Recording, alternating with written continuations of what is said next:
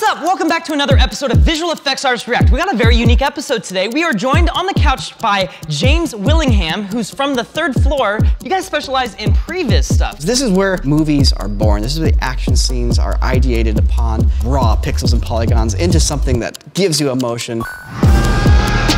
So I haven't actually seen this show yet, but this one shot right here may have hyped me up enough to actually go check this out. This is pretty sick. A lot of the stuff we do isn't often seen. It's, it's very early in development. I, I promise it's gonna look amazing. I imagine it's very rewarding to see like it's a completely different thing now, but it's still the same idea and the same concept. It's, ama- it's an amazing feeling. I would love to, to see an example of what this looks like. Should, All right, let's, should we let's- jump in? Let's check it out.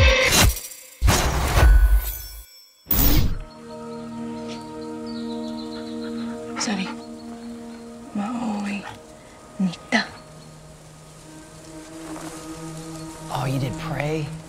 Dude, I freaking love this movie. Oh yeah? Yeah. Awesome. I love how it, I love how it just feels like it's video game animations, but at the same Yeah. time, like the animation and like the cinematography and the direction's like way nicer than you expect it to be based on like the graphics. Because you're used to like graphics like this playing a video game being from like a janky video game. Right. But something like, whoa, there's all this like direction and storytelling and the in the camera work and this dir- you know cinematography and the blocking. And this was right at the end of the project, and the team at this point had shrunk down to a single person, being myself. and, had- and I had one week to finish it, and then we were done. And that's why, like you see, like these the deer and stuff, just slide, chest piecing along, sliding. Sure, yeah. Um, I would have meetings with Dan Trachtenberg and brainstorm, and and you know go over the shots, and we would find new shots together. It was super fun. It was an amazing collaboration. So you're keeping it in like a rough state because you need to work on it fast, right? You need to. It's like you're sculpting. You just need to like be able to throw stuff on, look at it, take it off, and switch it around. Exactly. Yeah. Did you hand animate that, or is that mocap at all? This was all keyframed. Yeah, Gotcha. So I keyframed all of this. Yeah. What would cause this to depart from the previs? Why did this depart from the previs? Sometimes they're like, oh, this will be too difficult to get the camera in this position, or maybe this is too much for the stunt actor to perform, or it's just uh, time comes down to it, I think. Again, like, like I was saying before, sometimes it's just about helping them think and getting the DNA of the idea in there. Just because it's not a carbon copy um, doesn't mean we didn't help them quite a bit.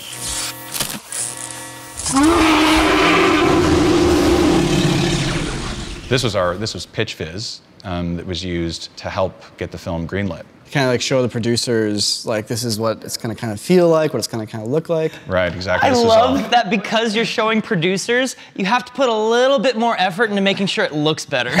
How do you communicate to them? How do you put them in the mind space to ignore the things that aren't finished and pay attention to the things that matter? uh, when I speak to a director or whoever, I'll say, listen, if we can get it across to you this way, it would be so quick and save so much time. And usually, if you convey that information and they understand that, that it's going to save them time and money, they tend to jump on board with it. we call it CG goggles. It's like you got to put on your CG goggles to really kind of just look past the rough cut version of what we're seeing. And a lot of people, their heads don't fit goggles. Right, right. It's like fine, I'll get, I'll, I'll do a nice previs for you. Yeah. I promise it's going to look amazing.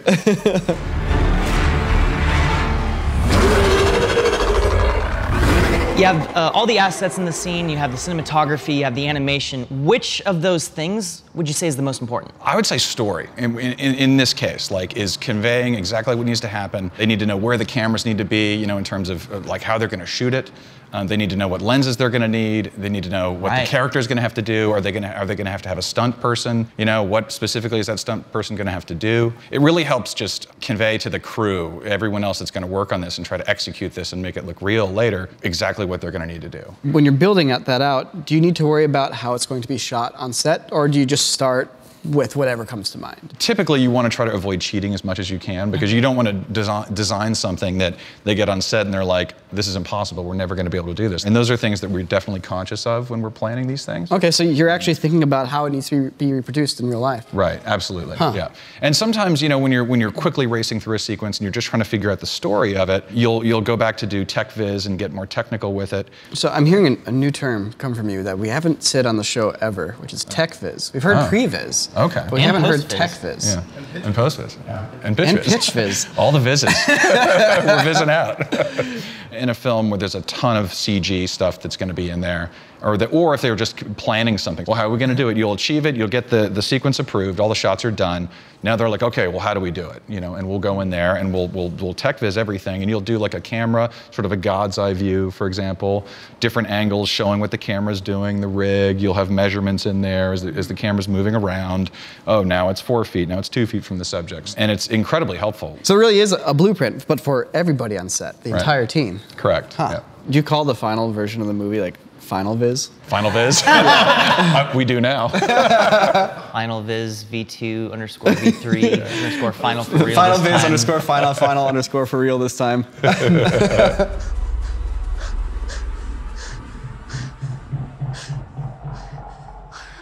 Hey Niko, Hey, friend. no one will save you. Previz corridor. This is No One Will Save You. Scary alien invasion story, That, that crinkling like. right? this was Lance Darden, who was our previs supervisor on it, and then our post. Third floor, we did board this, uh, working you know closely with the director and getting that all planned out and approved. So you guys actually boarded this. We do have, like at third floor, we do have a, a story department, and they'll board things. Uh, uh, uh, so we'll create an animatic with that. Once that was done, Lance went through and did a chess piece master scene of the whole thing, kind of Chess like from a God's What is- eye view. does that Oh, mean? chess piecing, like sliding Gotcha. the characters around. Then they would go in and flesh out the shots. So what is this now? What are we looking at here? This look, this looks like it's the post viz done by Mr. Brian Carney. New term. one of our supervisors. Yeah. Post Viz, new just- term. Post viz.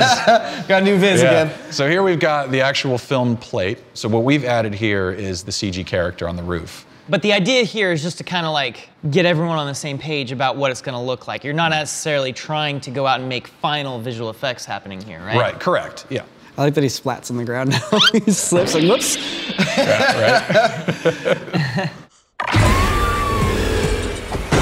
So like an idea like that where it comes down and he's like upside down, but then looks at the camera like that. It's all very otherworldly and uncanny. How much of that is coming from the director, like making the beat sheet for this or whatever? This one in particular, I'm not certain on who came up with that idea. I was asking Lance specifically about that, and he was like, "Man, I'm trying to remember who it was." Brian was saying that part of the challenge was figuring out how, like, what the size of this thing, how he would move within this vehicle, how they get him in there realistically, so he couldn't reach the girl because he's got these really long arms, you know. Right, yeah. Um, you're trying to tell the story, you know, within the frame.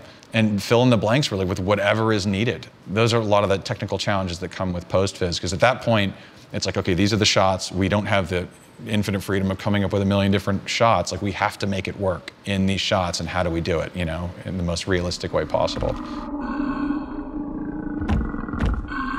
Oh, it's changed again a little bit. He's just trying to lick that moon. Oh, there it is. Ah, There it it came is. back. Yeah. Crunch. the gutter scrunch. gutter scrunch.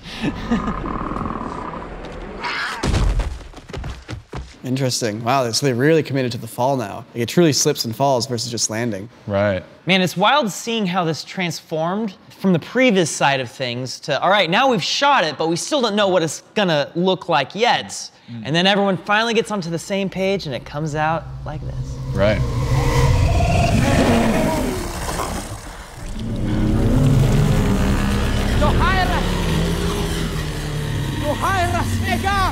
There's that tech viz There- you're there- talking there about. you go. There's some yeah, tech viz. with the numbers and everything. what I love about this is that it's all to scale. Like those are real world units there. And we also see the distance between the camera and the actor here because you don't want to hit the actor with the camera. Right. So you have to accommodate that. And it helps with eye lines. You know, you know where that dragon eye is, so they can Right. know uh, put a you know tennis, tennis ball, ball. or whatever there. Yeah, the actor can look at. This was Oh. Joanne Smithies, a previs supervisor in London. There it is. Look at those eye lines. Solid. And now we know that the camera's about five feet behind her. That's right. I know exactly how tall that dragon head is. In the projects that you've prevised on, do you know going into it what kind of cameras they're going to be using? Oh yeah. Is that very yeah. important? I mean, there are time? times there are times uh, when we'll start and we don't have that information, and then we'll get it sometimes halfway through. Usually they get it to us pretty early, and sometimes they'll be shooting with several different cameras. The project I'm on right now, there's there's several different packages that they're using. You know, when we get to the post viz point, you know, they'll give us a list of what what was shot, you know, with what camera, uh, the film back and the lens and et cetera, and we'll tr- we'll recreate those cameras you know, digitally. So when we're adding in the post viz, it's all accurate.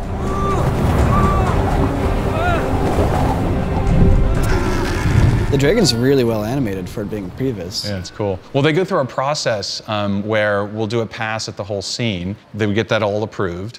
Then they would send the shots off to this company, Pixomondo, because basically they're rigging it up to go onto their buck, that motion control rig that the Yeah, actors yeah, would sit on. absolutely. They would do a solve where, for example, the buck would only rotate. So, but a lot of the times this thing needs to be flying around. You know, sometimes your, your dragon will be zipping past your camera. So they would have to do a solve where they would then take that animation of the flying dragon and put it onto the camera. You know, similar to the way they did with the old Star Wars movies. You Sure, know, yeah, Flying the camera yeah. around the ships. So I haven't actually seen this show yet. Yeah, yeah, I right. should have, This but is this cool. one shot right here may have hyped me up enough to actually go check Makes this me want to out. watch the show. This is pretty sick. On this sequence, they didn't have boards on this one. So what they did though is the director and the DOP and the VFX soup planned out a lot of the sequence with little like uh, toy versions, little, Totally, little, yeah, like yeah. maquettes of the Uh-huh. of the dragons, and they would film it. So they sort of create a little version of the sequence with that reference. You know, their own sort of real world previs in a sense, and they would use that as reference to build the sequence. So I think one of the biggest differences I've noticed between the previs and the final product is pacing. A lot of these scenes in the final thing are a lot longer than they are in the previs. Mm-hmm. To let the moment breathe, maybe just we need a little bit more time to live in this moment perhaps. For sure, yeah. You, you, you're throwing the clay on there, getting a very quick, rough version of it, and then you kind of, once you see it all in its entirety, it kind of helps you see, oh, I know ways to make this better. I know ways to make this moment better. Because it's so early and it's such a collaboration with so many different people, um, it's not like you write something and then execute it and it's going to be perfectly exactly what you did. It usually ends up having the DNA of the idea, but it's just it's just another step to help get to that final piece. So.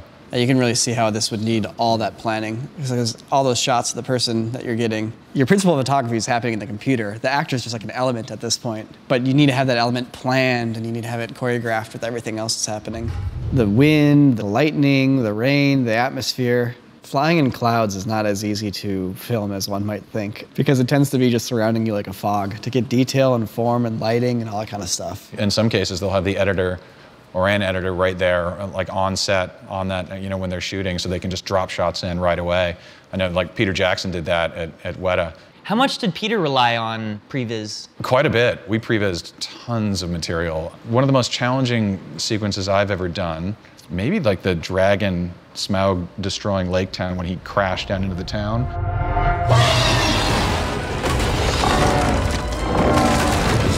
I pitched this idea to the VFX soup about the dragon crashing down like a 747, but it was this long, sort of convoluted idea where I had him like coughing up lava blood and crawling around. and Lava stuff. blood. Lava It was this whole. I just kind of went off the rails, and and he was like, "All right, well, let's let, maybe let's try to."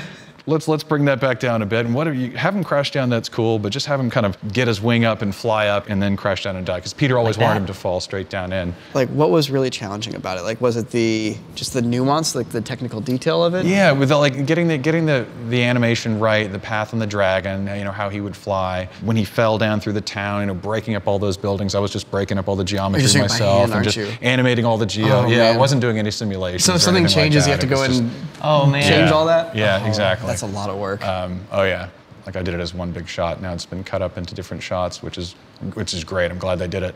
yeah, I can see why that would have been really tough. it was a wild, it was a wild one. How many iterations Yeah. did you go through? Oh, I mean, I, was, I worked on that shot for weeks, a couple weeks, I think, if I recall. Sometimes what we do is we help the director think. You know, he'll see what we've done and he'll go, "Oh God, that gave me a great idea," and then he'll, you know, give you his thoughts. Then you go back and you rehash it, and you kind of working together create this this product. Like, and in the end, when you get to sit there in the theater and you're seeing it, you're like, "Oh my gosh, that idea, that, that idea was mine."